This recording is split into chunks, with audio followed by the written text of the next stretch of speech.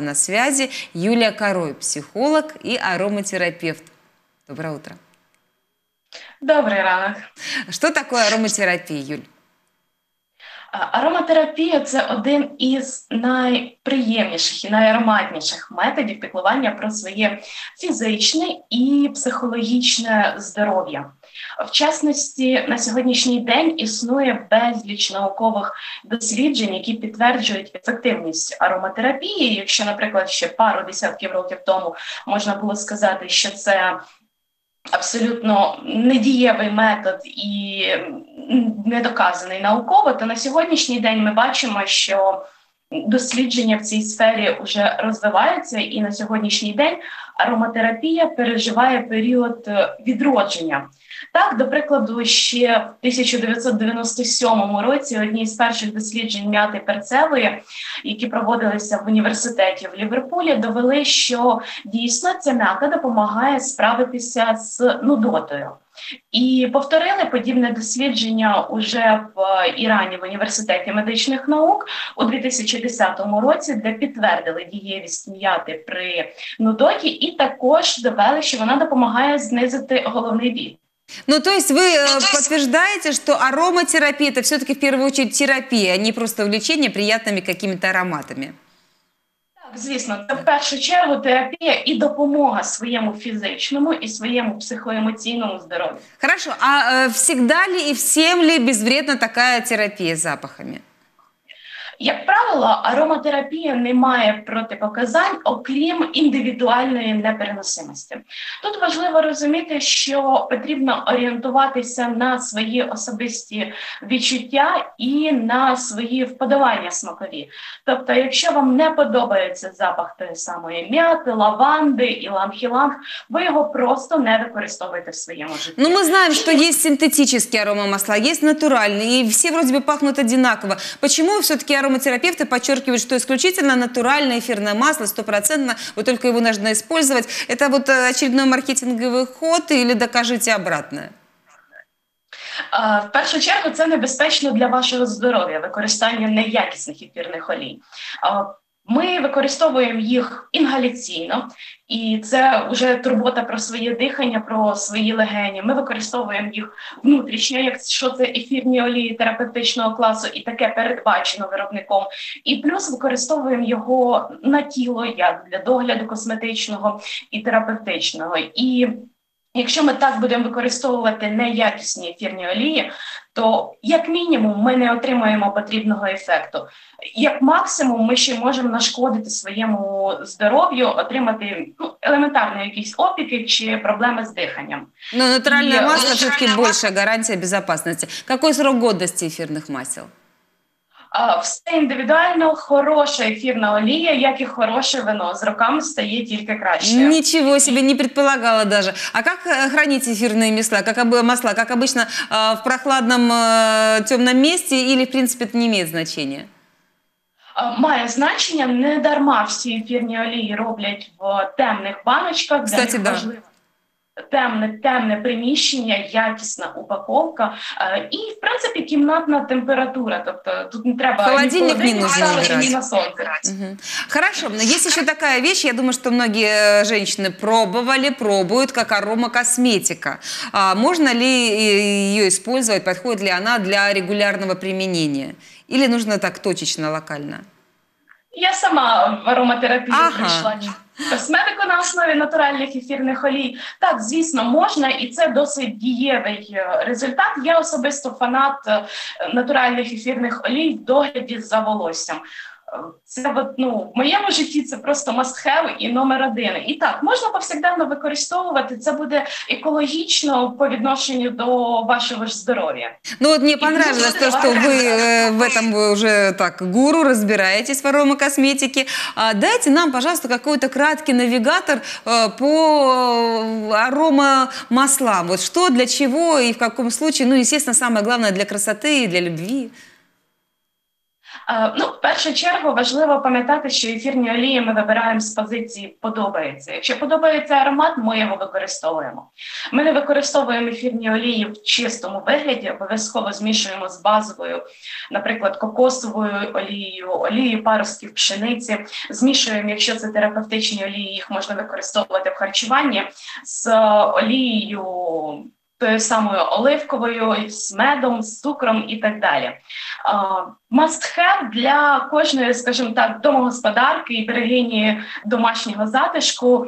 Я б сказала, що це олія в першу чергу чайного дерева, яка відома своїми антисептичними, противірусними і антимікробними властивостями для укріплення імунітету, для боротьби з проблемною шкірою, схильною до висипань.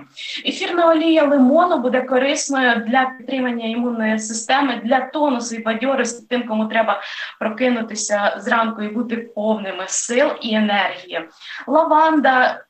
Просто матір всіх. Ну, про лаванду я читала, что там прям вот очень волшебные какие-то свойства. Согласна с вами. А, Юль, чем пахнет ваше утро? в залежності від настрою.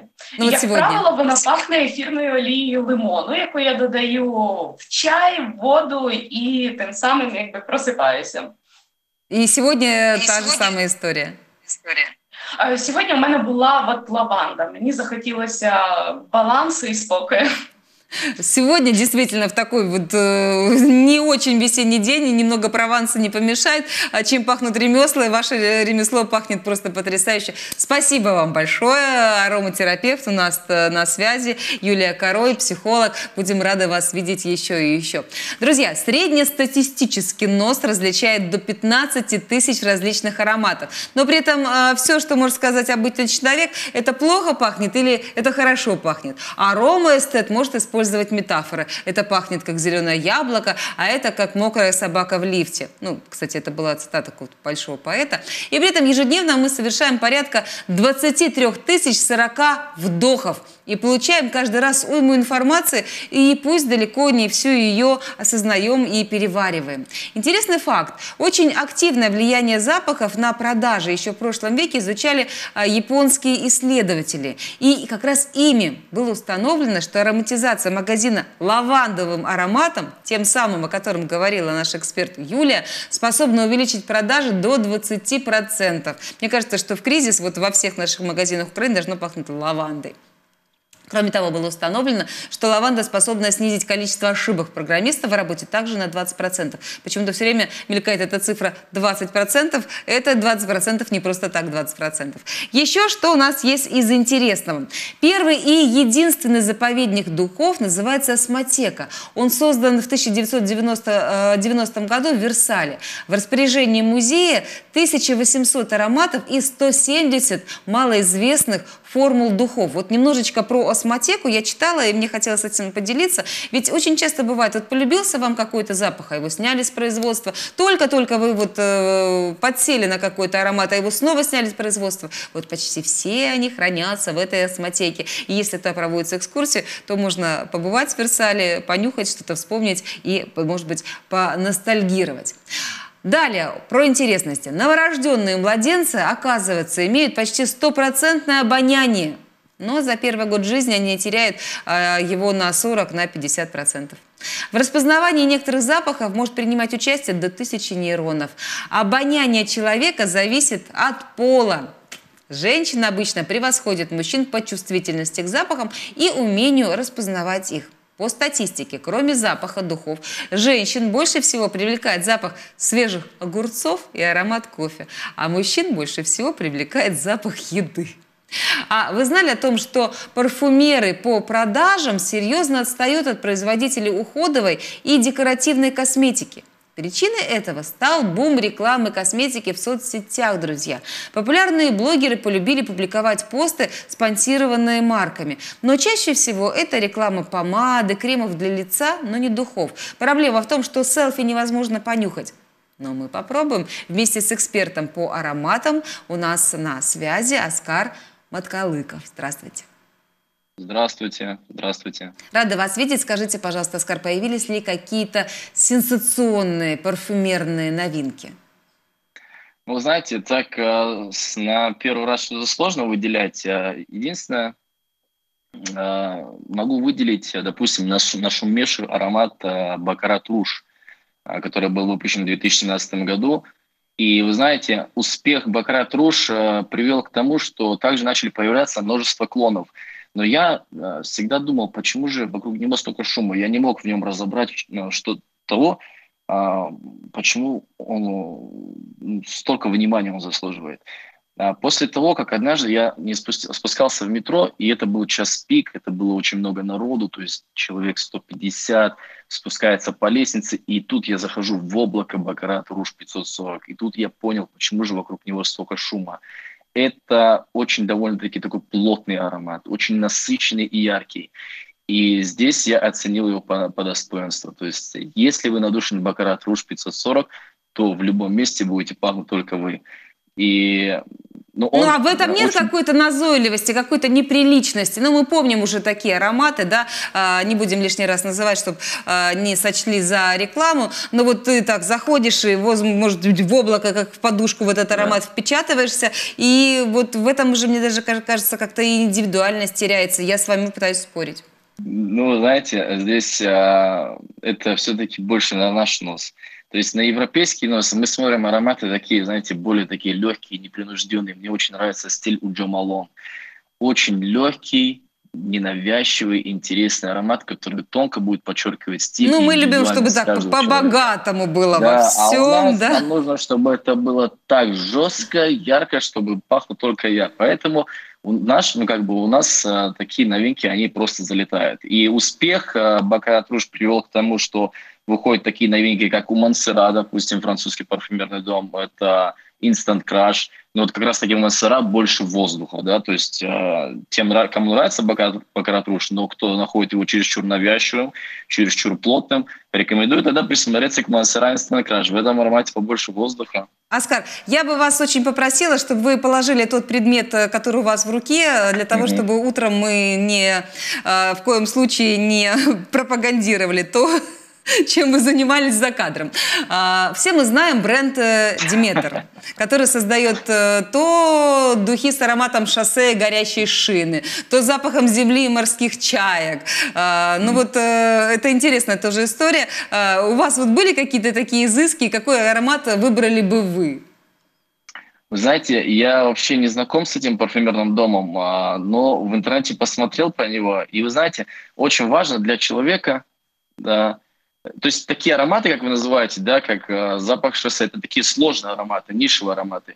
И мне захотелось с ними познакомиться. Но после того, как я открыл э, в интернете, забил название этого парфюмерного дома, очень важно для человека тактильное ощущение. То есть э, когда ты держишь, да, красивый флакон. Ну вот флакон это, да, не та история. Да, то есть когда ты держишь красивый флакон, ты хочешь к нему прикасаться, тебе нравится вот это тактильное ощущение, ты уже хочешь им надушиться. Это одно. Но когда я посмотрел на него, я, ну, честно говоря, если вам признаться честно, даже не захотел уже знакомиться с ним. Если вы хотите познакомиться с нишей во всех его красках, я бы выделил, выделил аромат э, Роже Дав. Роже Дав. Для себя аромат выделяю э, Иллюзиум. Вот здесь, Это я красиво. считаю, ниша, ниша во всей ее красе. То есть там, э, знаете, вот, кстати, в 2010 году э, в такой, у компании Крит залетел аромат Авентус. Там очень круто обыграли ананас и так выстрелили, что опять же этот э, Казалось аромат... бы, ананас, под... да? Такая ананас, да, но тема, так выстрелили да. красиво. И многие топовые производители пытаются повторить нечто подобное. А вот в 2017 году в Роже Иллюзиум очень круто обыграли грейпфрут. И так выстрелили, его обыграли лимоном, чабрецом, черной смородиной.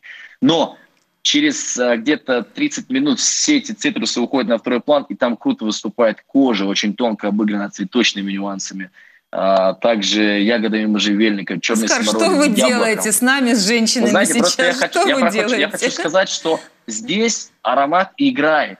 И здесь идет пирамида раскрытия. Ну да, вот нет вот этой плоскости такой, да, то есть однозначная какой-то плоскость. Но вы знаете, тем не менее, вот мне было бы интересно, тут я задавала себе вопрос, если бы я выдумывала что-то нереально, э, мне очень сложно. Я приверженец какого-то запаха, которому я могу э, любить много лет, потом мгновенно возненавидеть. Вот э, в свое время я очень любила выдуманный запах, которого не существует, запах мака, вы понимаете, о чем я говорю. Сейчас, конечно, я его не могу уже в принципе воспринимать. Мне кажется, что если бы я выдумывала какой-то запах, то мне бы хотелось запах грозы. Вот если бы что-то такое было создано, то, наверное, было бы здорово. Скажите, вот э, какие запахи, э, ну вот я не скажу, какие ноты, скажем так, мы не будем говорить сейчас про бренды, это, это не та история. Вот мы же понимаем, что э, где-то идут вот эти копирования, копипасты. Какие запахи нужно вылить э, или поставить в качестве освежителя в санузел в 2021 году, э, оставить для протирки ссадин? Вот про какие э, нотки лучше забыть? Вот смотрите, вы сейчас красиво сказали, что, допустим, да, вот э, привели, э, привели сра- в сравнение то, что вы бы создали какой-то запах грозы. То есть вы как парфюмер хотите заложить что-то э, вот в создании парфюмерии, когда вы что-то создаете, правильно? И вот, допустим, а с вами может кто-то сказать, да что это такое, что за запах грозы, короче, и захочет его выкинуть, правильно? Вот, например, я захочу его выкинуть. И я не могу вам сказать, что вот в 2021 году вот этот аромат нужно выкинуть и все. Почему? Потому что парфюмер при создании этого аромата у него были какие-то мысли, которые он хочет воплотить в план, в действии, в создании своей продукции. И сколько людей, столько и мнений. Кто-то кто-то прочтет его мысли, кому-то это понравится. Мне не понравится, я говорю, выкиньте. Я не То могу есть аромат это, правильно? духи это тоже книга, кому-то она зайдет, кому-то это будет э, Конечно, мелодрама, я не, один кому-то аромат я драма. не скажу, вот его выкиньте и все. А вот смотрите, вы- вот у меня есть вопрос, Оскар. А, До сих пор есть устоявшееся мнение про вечные ароматы. А, Не будем говорить, какие именно, чтобы не сочли рекламой или антирекламой, но я имею в виду что-нибудь под э, номером 5, например. А, Мол, это запахи на все времена, но вот так ли это, актуально ли это сейчас? Знаете, вот э, ароматы, пережившие эпоху, да, это история, это эмоции людей, живших до нас. Взять тот же самый Шанель номер пять. Это революция в парфюмерном мире. Вы представляете, в те времена женщина пахла однообразно, без особого шика и шарма. Э, То есть, Пачулями, э, экстракт- пачулями. Экстракт роз, да, там, жасмина, там, каких-то эфирных масел. И здесь на тебе Шанель номер пять. Если я не ошибаюсь, это вообще первый в мире альдегидный аромат. То есть смесь натуральных компонентов заменены на альдегидные и э, в перемешку с ванилью, ветивером, сандалом. Это просто шик. Аромату больше ста лет. То есть, ну, и вы знаете, это ну хорошо, как, если э, вы услышите сейчас на ком-то, э, ну вот э, на улице, на юной деве прекрасный этот аромат, Мгм. он вам покажется уместным? Да, я, это просто классика. Вы представляете, вот ваша мама, да, смотрела первый там черно-белый французский фильм и видит, как актриса берет с полки Шанель номер пять, Вот это- душится им и, и переживает эти эмоции, и думает, как бы я хотела попробовать этот аромат. И в итоге границы открываются. К нам приходят европейские парфюмы, и наконец она берет этот Шанель номер пять, душится и переживать те эмоции, те вот это. Это же целая история, это эпоха. Вот сейчас уберите Шанель номер пять с полок магазина. На него знаете, как цена сразу возрастет? Ой, Спасибо А- большое, Оскар. Аромат, Ну, у которого да. больше ста лет, и он, в принципе, даже вот по звучанию практически не изменился. И вот тогда пахли, пахли вот так. Это круто. Я была уверена, что вы ответите по-другому, но тем более приятно вот такой вот интересный мужской взгляд, а, и это взгляд профессионала. А, Очень вам благодарны и очень будем Спасибо. рады видеть вас в нашем эфире. Поскольку вопросов у меня еще на самом деле очень много. Мне очень а, нравится тема парфюмерии, духов, и хочется об этом поговорить, но времени не хватает. Оскар Маткалыков, эксперт по ароматам у нас в студии. Я надеюсь, что у вас утро сегодня пахнет а, правильно. Уж не знаю, как оно должно. Знаете, легкие, цветочные, тяжелые, восточные. Вот визитная карточка арабских духов можно назвать специи и приправы, которые еще с древности ценились, конечно, на вес золота, вывозились купцами большими порциями из Индии, Пакистана, Марокко. В те времена сильны были предрассудки, которые заставляли видеть э, в необычных, возбуждающих э, запахах вот тех самых специй нечто бесовское. И вот не зря первыми ценителями вот таких духов становились дамы полусвета, скажем так. А все потому, что в духах э, пряности способствуют пробуждению чувственности, друзья. При этом и сегодня поклонницы восточных ароматов замечают их удивительный феномен. Не тот, о котором я говорила выше, другой. Организм, те, кто любит восточные ароматы, практически не испытывает чувство голода и при этом очень чутко реагирует на вредные примеси в воздухе, а, куда относится и банальный табачный дым. Арабские духи обостряют все органы чувств, и поэтому в немалой степени способствуют, и этому немалому степени способствуют входящие в их состав специи, чуть-чуть, но мало за от них до дорог. А в кулинарии пряности, наоборот, служат для пробуждения аппетита. Причем пряности удивительны тем, что мель мельчайшие их частицы способны повлиять на наше настроение. Ну вы же все знаете. А, перец, немного тмина, если добавить шафрана, если взять ваниль, все это взять на кончике ножа. И э, просто чудо и волшебство. А при увеличении доли эффект получится противоположный ожидаемому. То есть это не то масло, которым по пословице каша не испортишь. Специи не только излучают особые ароматы вкусами по себе, а могут выступать в качестве э, консервантов, усилителей вкуса для некоторых других э, частей блюда, продуктов. Многие блюда, как мы знаем, были бы совершенно другие, если бы в них не использовали специи. Для того, чтобы быть хорошим поваром, очень важно знать эту специальную энциклопедию, знать, что и когда использовать. У нас на связи как раз такой человек Андрей Жмак, руководитель кафе бара и повар. Здравствуйте. Добрый день. Скажите, пожалуйста, вы знаете, вот я сталкивалась э, в жизни с такой ситуацией. Когда ты здесь, в Украине, что-то готовишь, ты добавляешь что-то на кончике ножа, вот что-то получается, и потом я приезжаю к своему другу грузину в Тбилиси и говорю его жене, говорю, научи меня готовить аутентичные блюда. И берется вот э, стакан хмели суннели, туда пошел, берется следующий, туда пошел. И у меня сначала шок и ужас, думаю, как это, ну вот можно, а по выходу вкусно. Как добавлять специи? Ну, не стоит рассматривать специю как э, какой-то улучшитель там, или усилитель вкуса, который изменит блюдо в корне. Ну, специю добавлять лучше всего от обратного, исходить там, по минимуму. Там. Конечно, лучше рецептурой воспользоваться, которая там э, соответствует, но не стоит перебарщивать. То есть специя все-таки может испортить э, блюдо. А вот по поводу испортить блюдо, э, встречала такое мнение от мужчин-гурманов. Женщины, по-моему, на это не обращают внимания, а вот мужчины, они на тонкости вот э, специй и вообще приготовления тех блюд, которые добираются у них рука, время и вдохновение, они относятся тщательно и щепетильно. Лаврушка в наши дни еще актуальна? Конечно. Конечно, маринады, бульоны, ну, безусловно, это да, лаврушка есть э, э, и ключевая позиция в приготовлении, ну, допустим, рыбных блюд. То есть, е, э, если бы она была, наверное, не актуальна, не актуальна, она бы не продавалась. Есть специальные рецепты даже с лаврушкой, ну, то есть с рыбой, но это те, которые я, допустим, встречал и знаю, mm-hmm. которые без э, использования таковой э, блюдо не будет иметь тот вкус. Но это рыбные блюда. Рыбные блюда, спасибо, рыбные блюда. А ну вот, э, знаете, главный телеповар нашей страны, господин Нектор, э, я смотрела там несколько выпусков, где он рвал волосы на голове, когда видел, э, что кто-то использует в рецепте укроп. Вот почему-то у него какое-то отношение к укропу такое очень предвзято. А у вас есть вот нелюбимая специя? Нет, честно. Я как бы даже, и меня на ум не приходит какая-то специя, которая я там... Переборщить, да, а не любимая. В определенном количестве, да. Вы знаете, блюдо даже какой-то там, ну, допустим, какой- какой-то кухни там восточной, э, которые, там, рыба фу, допустим, да.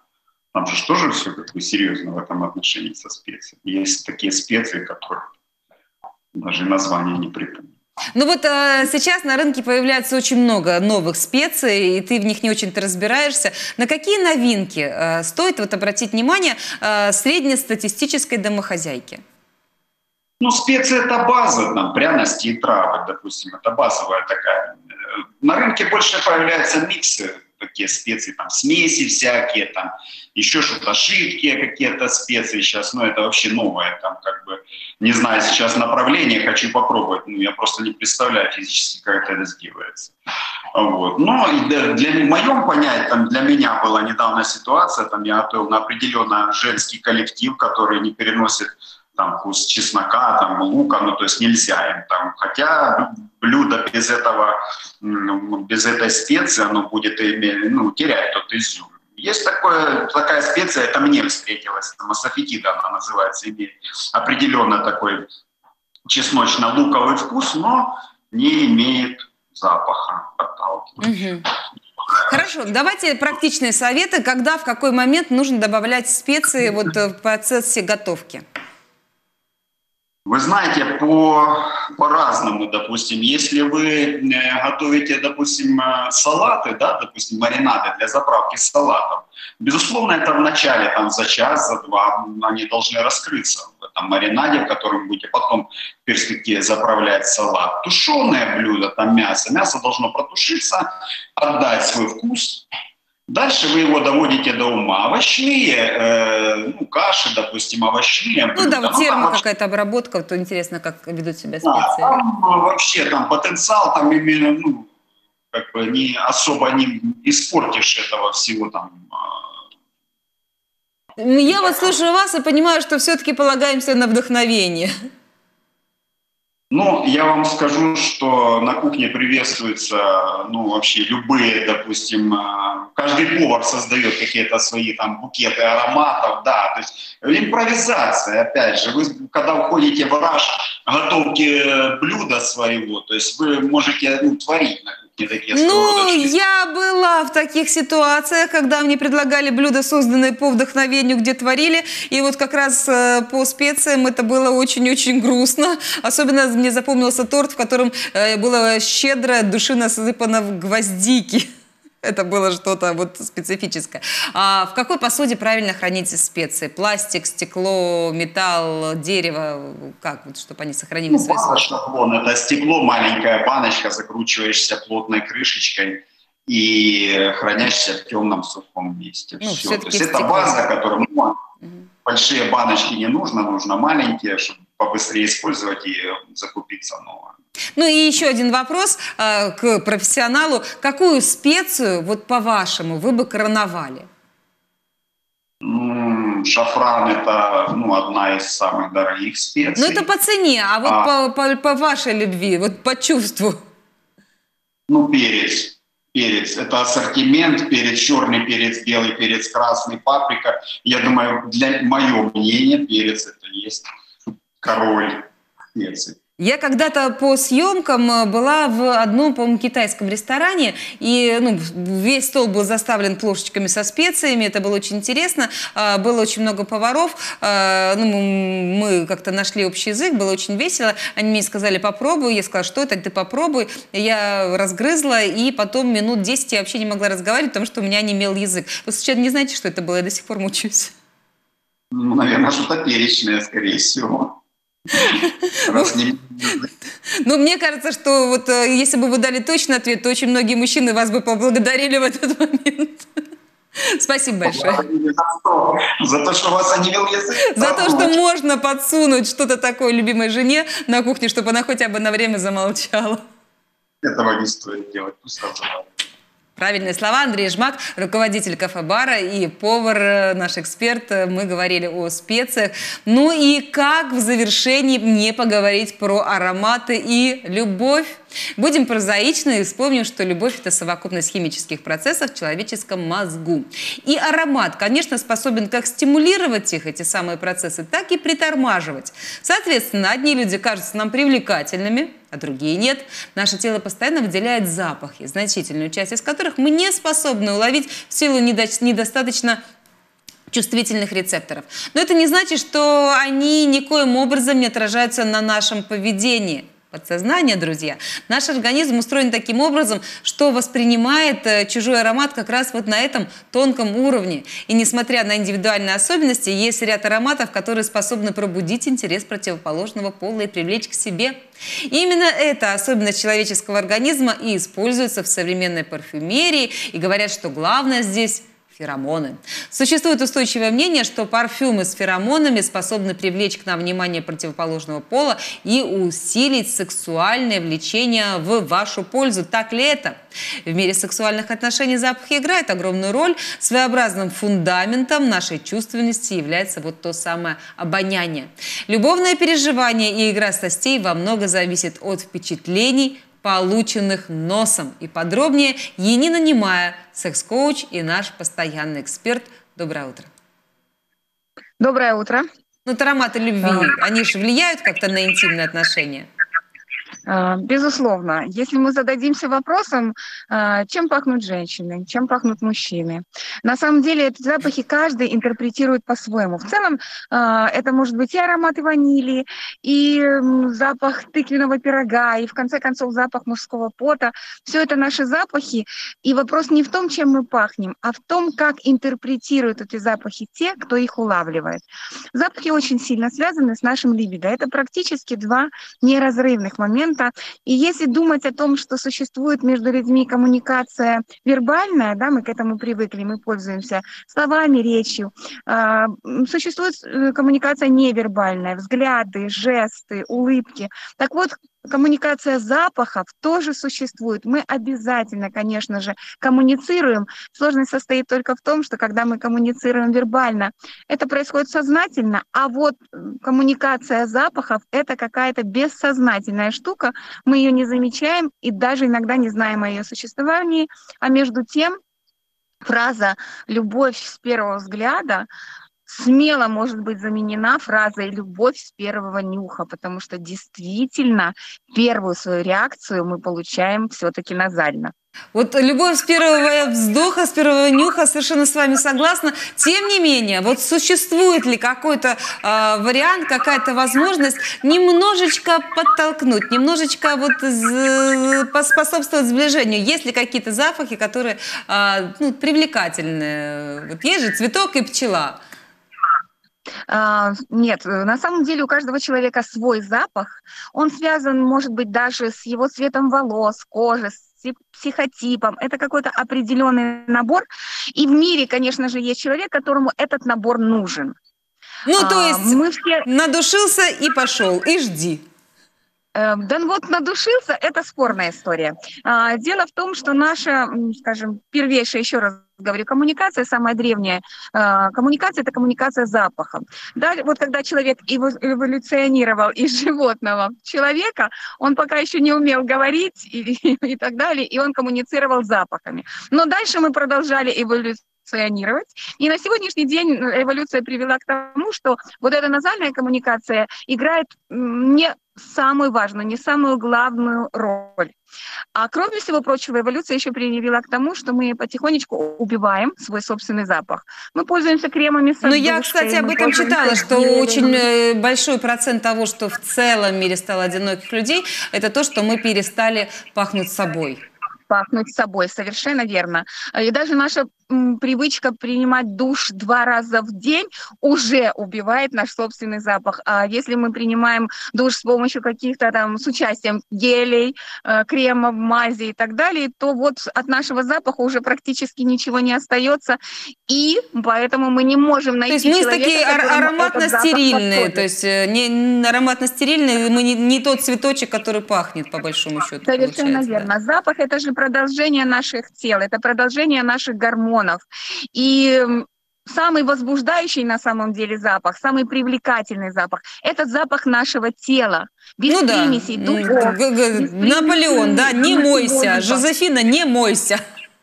Ну, не совсем так, но во всяком случае злоупотреблять не нужно. Ну и кроме всего прочего, мы еще пытаемся искусственно на себя посадить какой-то запах, я имею в виду сейчас парфюмерный и так далее. И не всегда он совпадает и рифмуется с тем запахом, который у нас есть природно. Это на самом деле очень большое искусство, чтобы подобрать тот аромат, ту, тот парфюм, который сочетается с нашим природным запахом. Енин, я нашла такую мы... информацию, простите, вот не люблю да, перебивать да, наших экспертов, а, но время как всегда, время. А, Антон Павлович Чехов как-то сказал, женщины пахнут сливочным Да. мороженым. Мне очень это понравилось. А некий французский медик 19 века выписал вчера, а он был дамским угодником, а, он э, очень интересно описал аромат женщины. По его словам, от блондинок исходит запах серой амбры, от шатенок запах фиалок, а от брюнеток аромат черного дерева и мускуса. Ну, просто красиво. Ну, а вопрос у меня будет под, занавес нашей с вами беседы э, совершенно практичного значения. Духи с феромонами. Вот это профанация или в этом что-то есть? А, Вот смотрите, цитаты, которые вы только что привели, говорит о том, что каждый человек интерпретирует запахи по-своему. Для кого-то это пахнет так, а для кого-то иначе. Искусственные феромоны э, и, скажем, э, маркетинг, который утверждает, что сейчас вы, значит, капнете себе там, на запястье, и все вокруг почувствуют этот притягательный ваш запах, это не совсем правда. А, Это может случиться в каком-то определенном случае. Во-первых, если этот запах э, э, резонирует с запахом вашего тела, раз. Во-вторых, если этот запах может уловить назально и почувствовать его тот, кому он направлен, и правильно его интерпретировать. А в целом, если честно, запах человеческого тела это самый приятный, самый манящий запах. Просто позвольте любви с первого нюха случиться в вашей жизни, и вы поймете, насколько это круто. Никакая химия, никакая искусственная э, парфюмерия не сможет э, сделать того чуда, которое делает запах человеческого тела. Как вы прекрасно это сказали. Янина Немая, наш постоянный эксперт, секс- секс-коуч. А, И это самые лучшие слова, наверное, самый лучший итог э, всей нашей беседы.